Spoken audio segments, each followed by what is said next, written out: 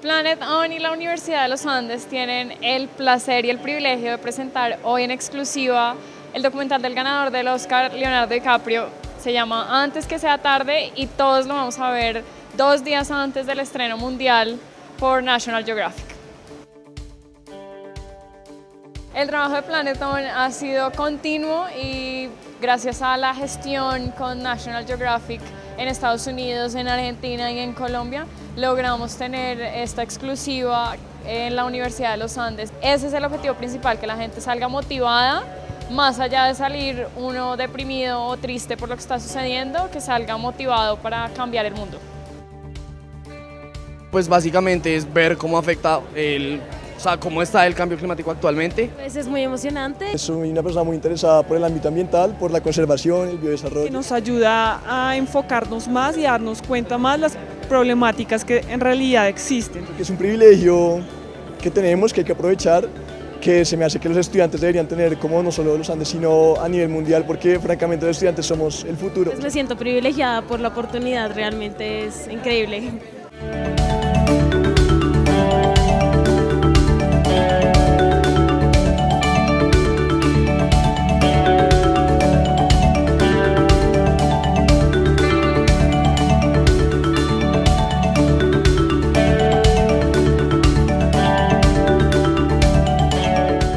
Pienso que la película uy, fue bastante tocante, fue bastante interesante. Pues el documental, digamos que me gustó bastante que abordó como todas las perspectivas, entonces tenía la perspectiva social, la política, viajó por todo el mundo intentando dar como una mirada muy amplia de, pues, de lo que es la situación en el cambio climático y del medio ambiente.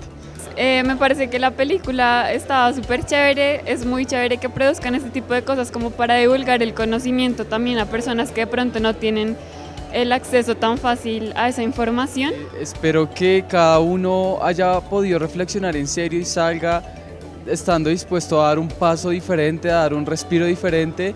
Pienso que estamos con una gran responsabilidad en nuestras manos y debemos actuar de forma consecuente con, con lo que ya debemos haber comprendido y de lo que ya debemos eh, haber tomado conciencia que es el cambio climático y lo que hemos hecho sobre el medio ambiente. Pues yo creo que el mensaje más importante también es que nosotros desde nuestras decisiones de compra y lo que podemos hacer podemos contribuir también al cómo solucionar el problema al que estamos enfrentados en este momento. La próxima edición de Planet On será en 2017. Espero que todos estén súper conectados a través de nuestros canales digitales.